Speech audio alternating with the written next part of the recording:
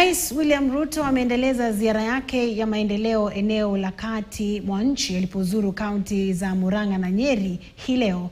Kwenye ziara yake, rais aliandamana na viongozi wengine serikalini akiwemo naibu wake Rigathi Gachagua.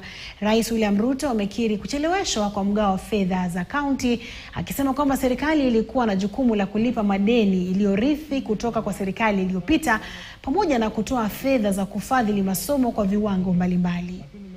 Wacha nicheleweshe yenu kidogo. Kwanza nihakikishe watoto wote wa Kenya wako shuleni. Hii Januari nimeweka bilioni sitini na moja katika masomo ya watoto.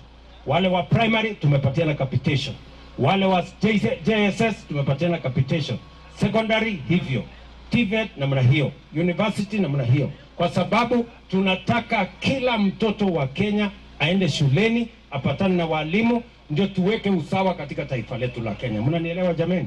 Huyo rais wetu anafanya kazi mzuri sana ya kutujengea manyumba yenye tutakaa hapa nchini kwanza. Na mheshimiwa rais, tunakushukuru kwa sababu hiyo kazi inapea vijana wetu kazi na huendelee. Wale watu watapinga hiyo mradi wa affordable housing, mambo ni mangapi?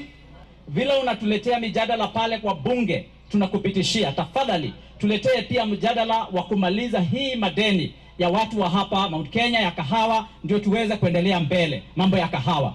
Kuna wale wanasema unatembea sana hapa kwetu ya Excellency. Ukimaliza wiki mbili unakuja na unakuja na kitu kidogo, ukimaliza wiki mbili unakuja na unakuja kitu kidogo. Kama hii ndio wanasema ni campaign, endelea kufanya. Na mtazamaji, taarifa hiyo ya ziara ya